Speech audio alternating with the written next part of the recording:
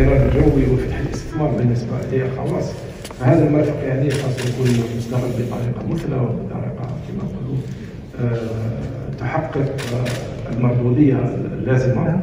يعني آه، ندعو كل المستثمرين الخواص إلى الولوج طبعا مجال الاستثمار في الطيران الجوي. ونحن يعني الحمد لله يعني بدأنا نستلم بعض الطلبات وهي بدات تتكاثر ونحن نقوم بدراستها من أجل فتح المجال؟